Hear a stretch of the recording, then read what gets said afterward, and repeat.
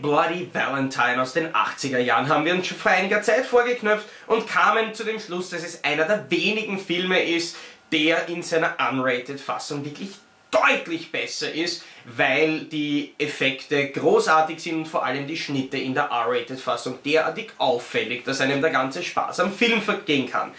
Wenn allerdings dann gerade Lionsgate dafür verantwortlich ist, dass der Film nach Jahrzehnten endlich in der unrated Fassung erscheinen kann und Lionsgate sich gleichzeitig auch für das Remake verantwortlich zeigt, wundert es dann doch ein bisschen, dass Lionsgate vom Remake nur eine R-rated Version veröffentlicht und keine unrated.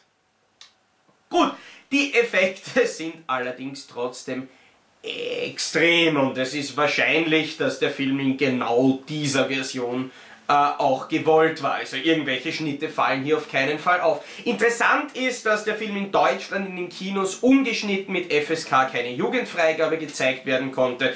Für den Heimkino-Release dann aber nicht nur von der FSK die Freigabe verweigert wurde, sondern von der SPIO-JK auch das harte Rating strafrechtlich unbedenklich vergeben wurde. Zum jetzigen Zeitpunkt, wo ich dieses Review aufnehme, ist der Film allerdings noch nicht indiziert worden, was angesichts der ungekürzten Kinoaufführung auch wirklich wahnsinnig lächerlich wäre, was allerdings noch lange nicht bedeuten muss, dass das nicht in Kürze passieren wird. Wäre unterhaltsam. Anyways, wir beginnen den Film My Bloody Valentine 3D mit einigen Aufnahmen von Zeitungen und damit wir wissen, dass wir einen 3D-Film sehen, fliegen einem die Headlines und Texte und Bilder irgendwie die ganze Zeit nur so um die Ohren. Das heißt, wir wissen gleich, welche Art von 3D uns in diesem Film erwartet. Nein, nicht atmosphärisches, Spannen, äh, Spannung förderndes 3D, sondern einfach bla Gimmick dieses 3D. Und ich weiß es nicht, ich meine, ich finde dieses 3D teilweise ganz witzig, aber ähm, es kann meiner Meinung nach trotzdem nicht einmal im Ansatz so viel wie richtig atmosphärisches 3D, was die Spannung am Film, die Atmosphäre und die Intensität von einigen Szenen alleine nur durch die räumliche Tiefenwirkung echt ähm, verstärken kann. Vor allem, weil My Bloody Valentine in seinen 3D-Effekten entweder so ist oder so gut wie gar nicht vorhanden. Ähm, das Interessante ist, äh, inszeniert wurde der Film von Patrick Lussier, demselben Regisseur, der auch Drive Angry mit Nicolas Cage inszeniert hat. Und wer den Film bzw. mein Review dazu kennt, weiß, dass auch hier das 3D-Gimmick ziemlich groß geschrieben wurde. Äh, ich möchte jetzt mehr oder weniger den Film mit euch etwas Schritt für Schritt durchgehen äh, und vor allem zwischendurch immer wieder mit dem Original vergleichen, weil das Remake von My Bloody Valentine ähm, zeigt sehr deutlich, dass es weiß, woher es kommt. Also es wird das Original an sehr, sehr vielen Stellen anerkannt, sei es dadurch, dass äh, kurze Momente wirklich eins zu eins aus dem Original kopiert wurden. Äh, allerdings wurden auch viele Sachen geändert. Einiges vielleicht durchaus zum Positiven, anderes nicht. Und genau über das möchte ich dann im Detail sprechen. Nachdem wir die Eröffnung äh, bekommen haben und im Endeffekt eigentlich in einer zwei Minuten langen Zeitungsmontage nicht viel mehr erfahren haben als Mine eingestürzt, Harry Warden Koma, Ende. Sehen wir äh, ein Krankenhaus mit einigen extremst gory zugerichteten Leichen und Tom Atkins als Polizist, der einen Kollegen von sich, der, ich weiß jetzt nicht, entweder ähm, Altersschwäche spielt, hervorragend spielt, oder tatsächlich sich schwer tut, noch gerade im Bild stehen zu können. Äh, den fragt er, wer könnte denn der Killer sein? Und der sofort, Harry Warden. Aber Harry liegt doch im Koma. Er ist dann vielleicht aufgewacht. Ach, wirklich.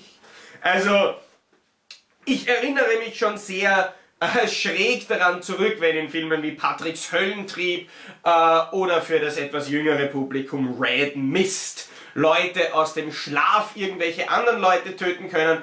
Aber ich stelle es mir wirklich schwer vor, äh, solche Morde zu begehen. Vor allem, wenn man jahrelang im Koma gelegen ist, äh, dann glaube ich nicht, dass man aus dem Bett aufstehen kann und sofort entweder Leute auseinanderreißen oder auch auseinanderschneiden könnte. Weil wenn man wirklich sieht, ähm, dieses Krankenhauszimmer, wo Tom Atkins drinnen steht, schaut wirklich aus wie ein Schlachthaus. Also da äh, hat jemand extremst gewütet und jemand, der gerade aus dem Koma aus, aufgewacht ist, äh, wird eher damit beschäftigt sein, da zu sitzen, wackel mit dem kleinen C, wackel mit dem kleinen C. Und gut, auch Uma Thurman hat es geschafft, jemanden mit einer Tür den Schädel einzuschlagen, aber ich glaube nicht, dass sie ihn nachher mit einer Säge noch in drei Teile zerteilt und im Raum irgendwo dekoriert hätte.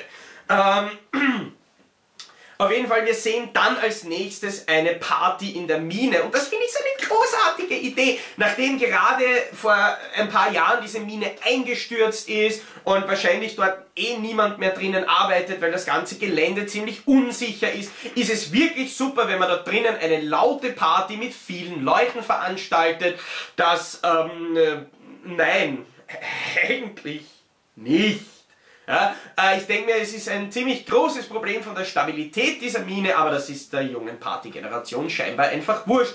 Vor allem äh, für den jungen äh, Tom, gespielt äh, vom selben Schauspieler, der Dean in Supernatural verkörpert, ähm, der von dieser Explosion nachher direkt betroffen war und auch zu dieser Party kommen muss. Und seine Freundin ist sehr taktvoll, Ah, gerade wo sie am Eingang stehen und er so da schaut, äh, eigentlich äh, will er wahrscheinlich nicht wirklich rein und sie erinnert ihn noch, ja, du musst nicht rein, also wenn du nicht willst, ich weiß, wie schlecht es dir geht und so weiter. Ich meine, ist eh irgendwie nett von ihr, aber ihn so plump auf diese ganzen Erlebnisse anzusprechen, dass er sich ja auch noch wirklich an jedes kleine Detail erinnert, ähm, ist vielleicht nicht wahnsinnig zielführend. Und in der Mine wird dann selbstverständlich weiter gekillt, also es taucht plötzlich der Killer auf, schnetzeln ein paar Leute, selbstverständlich mit vollem 3D-Gimmick, also der eine kriegt die Spitzhacke hinten in den Kopf, dass sie vorne mit dem Auge dran hängen wieder rauskommt. Ähm, ja, macht jetzt vielleicht einen interessanten 3D-Effekt, macht aber äh, überhaupt natürlich keinen Sinn, aber ich meine, wer sich das von einem Film wie My Bloody Valentine 3D erwartet, der ist prinzipiell eher an der falschen Adresse. Ähm, ich muss allerdings jetzt eines sagen, der Film war jetzt 15 Minuten lang.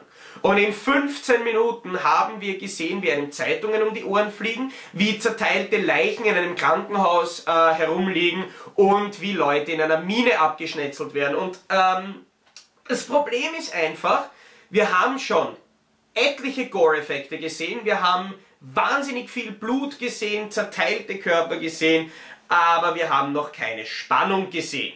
Wir haben noch keinen Aufbau von irgendwelchen Charakteren gesehen. Das heißt, das, was aktuell auf der Leinwand passiert, ist dem Zuschauer eigentlich mehr oder weniger wurscht. Komplett blunzen. Abgesehen davon natürlich die Leute, die vor dem Bildschirm sitzen, nur weil sie den nächsten, dem nächsten Effekt entgegenfiebern. Für die sind diese ersten 15 Minuten des Films wahnsinnig aufregend, atemberaubend, geil, nächste Szene, nächste Löcher.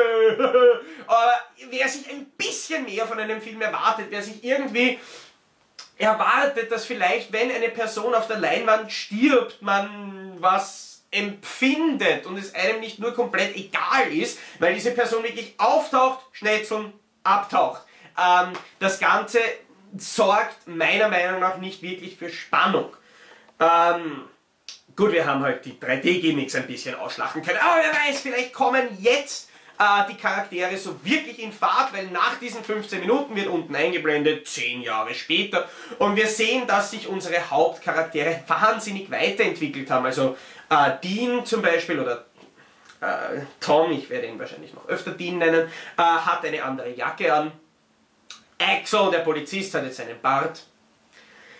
Eine der Mädels äh, hat eine neue Frisur. Also sie schauen ganz anders aus als vor zehn Jahren. Also wenn ich mir vorstelle, äh, wenn ich jetzt da sitzen würde vor zehn Jahren, ähm, es hätte sich etwas mehr verändert als nur die Frisur.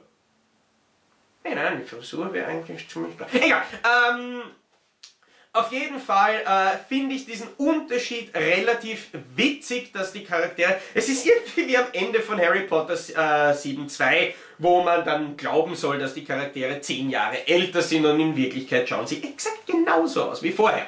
Ähm, was mir jetzt allerdings auffällt, im direkten Vergleich zum Original, ist, der Film heißt My Bloody Valentine.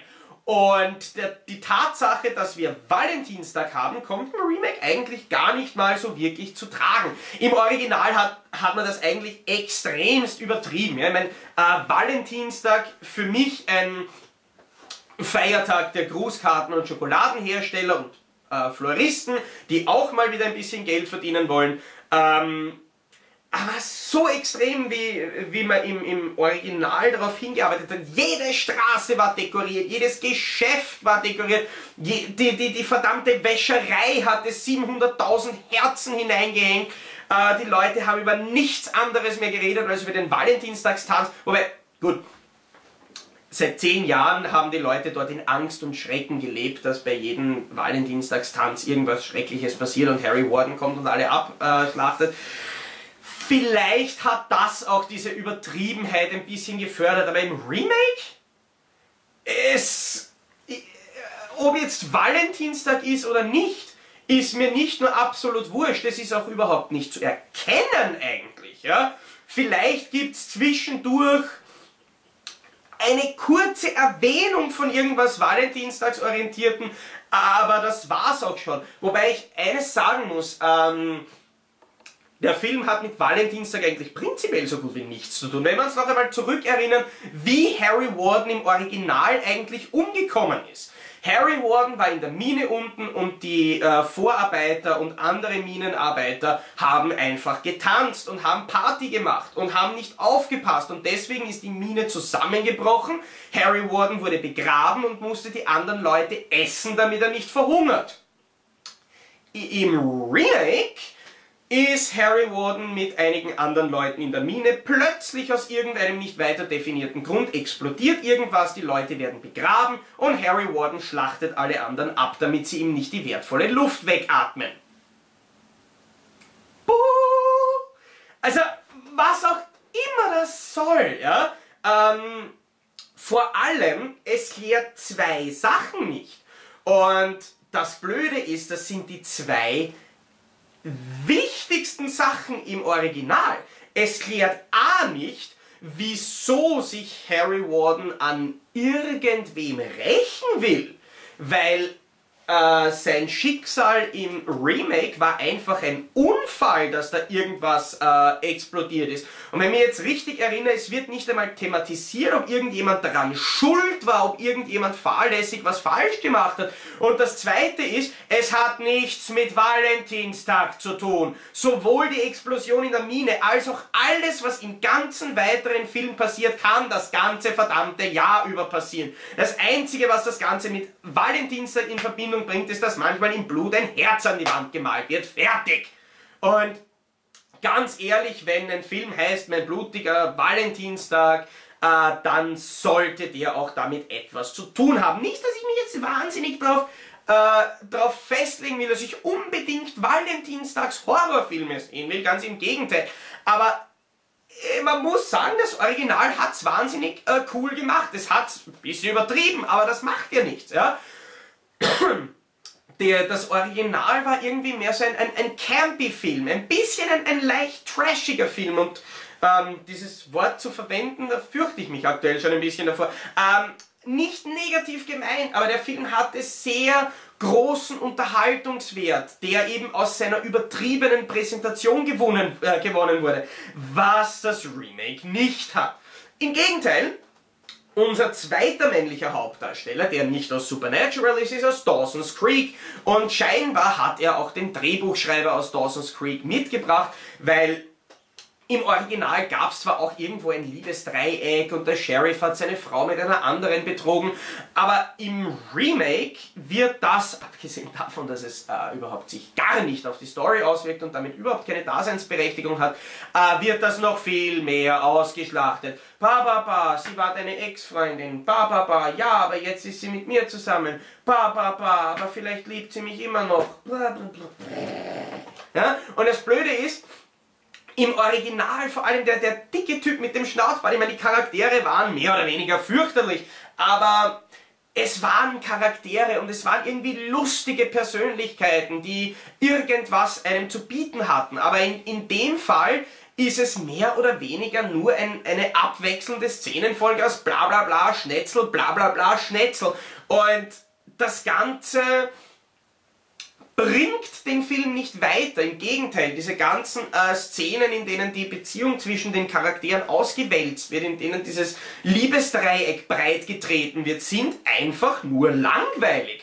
Und das ist schade, weil sich der Film für genau diese Charakterentwicklung eigentlich relativ viel Zeit nimmt.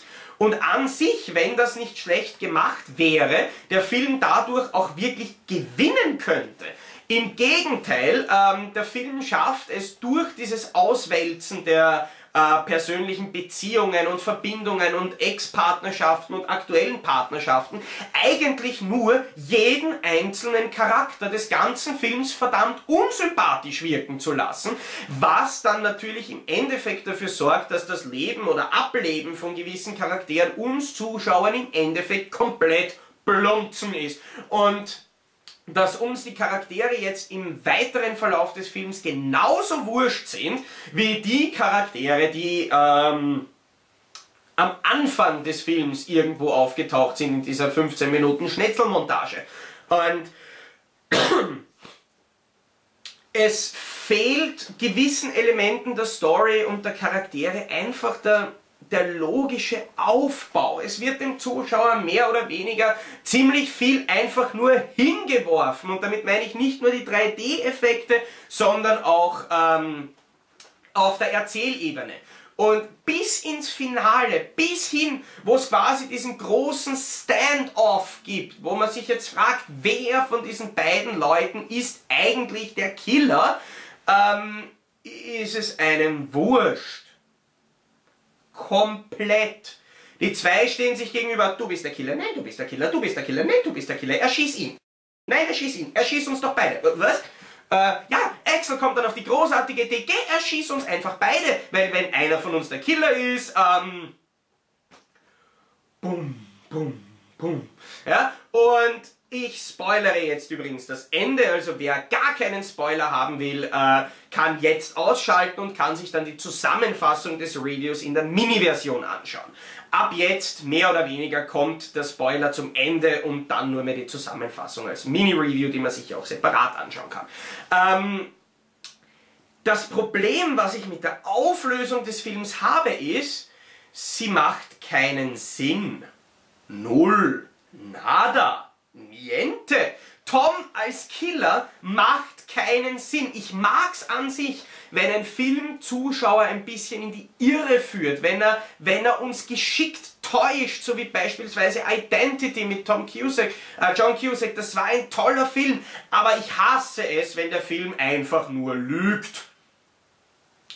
Flat out lie. Und extrem gemein ist eigentlich diese Szene, ähm, eine der, der, der, Schlüsselszenen mehr oder weniger in der Mitte des Films, wo Tom von äh, Harry Warden in einem Käfig eingesperrt wird und man genau sieht, wie er von außen diese Käfigtür zu, äh, zubricht, dass Tom nicht mehr raus kann und dann draußen irgendeinen Minenarbeiter tötet. Und die Polizei muss den Käfig aufbrechen und Tom befreien und niemand überprüft, ob dieses Schloss von innen oder von außen verbogen wurde, was man ja sicher nicht sieht, vor allem weil ja daneben ein Gitter ist und wenn man da die Spitzhacke durchrammt und das Ganze aufbiegt, muss ja das Gitter komplett anders kaputt sein, als wenn man das von außen macht. Aber ich weiß, jetzt kommt dann das CSI in mir hoch. Aber es macht keinen Sinn. Ja? Und vor allem, direkt nach der Befreiung wird Tom von Axel befragt. Warum? Er war eingesperrt in der Zelle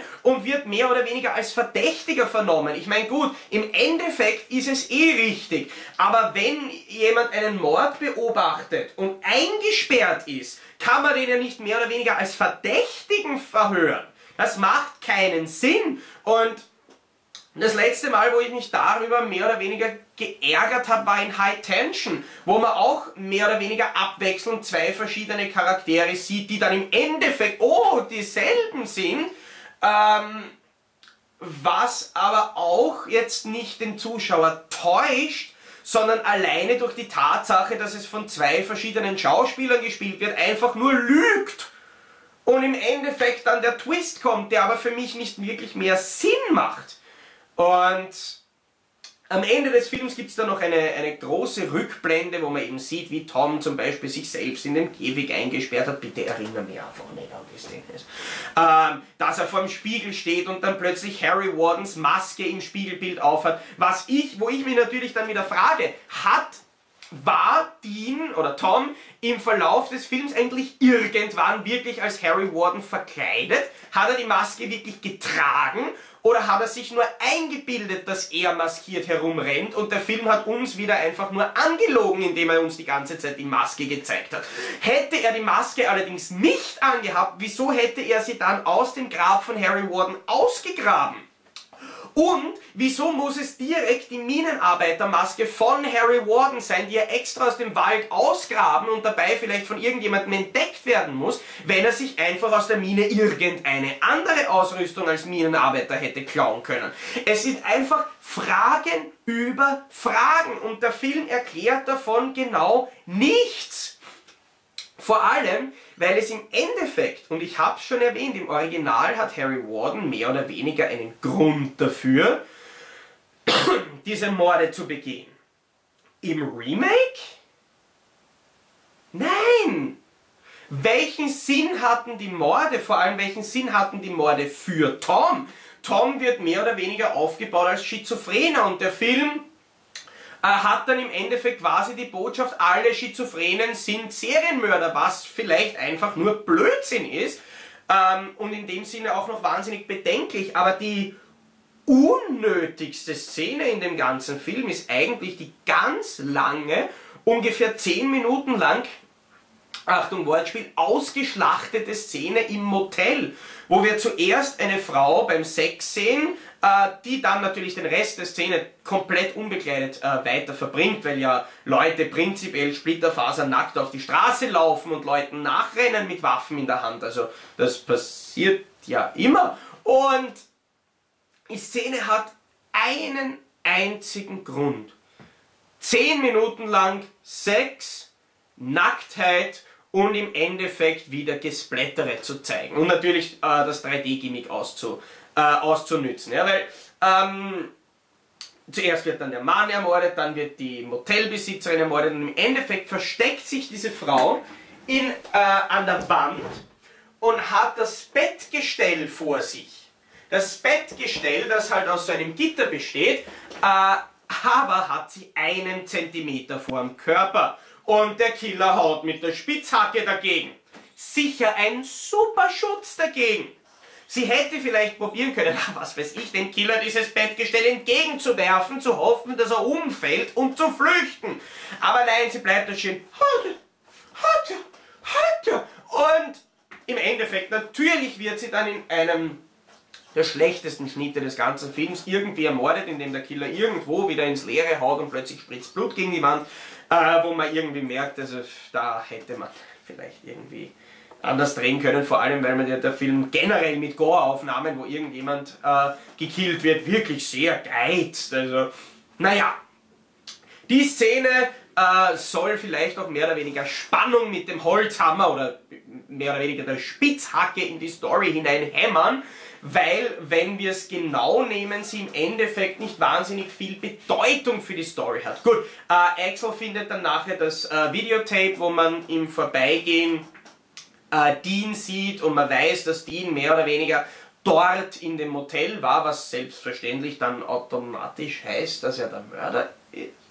Anyways, äh, es hat nicht wahnsinnig viel Sinn. Aber das Schlimmste, das aller, aller, aller Schlimmste vom My Bloody Valentine Remake äh, ist das Ende.